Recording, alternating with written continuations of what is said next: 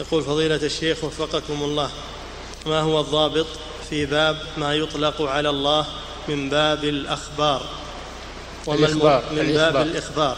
وما المراد بقول أهل العلم إن في هذا الباب سعة؟ إي نعم باب الإخبار أوسع من باب التسمية والصفة. تخبر عن الله في كذا وكذا إذا صح إذا صح عن رسول الله. ما هو بتخبر بشيء من عندك؟ لكن تخبر بالأخبار التي أخبر بها النبي صلى الله عليه وسلم عن الله ولكن كره الله انبعاثهم. هذا إخبار. ما تأخذ منها اسم لله تقول الله الكاره أو الغاضب؟ ما تقول هذا. لكن تأتي بالفعل كره الله انبعاثه. فتثبت أن الله يكره وأن الله يبغض وأن الله يسخط ولا تأخذ منه أسماء لله عز وجل. نعم.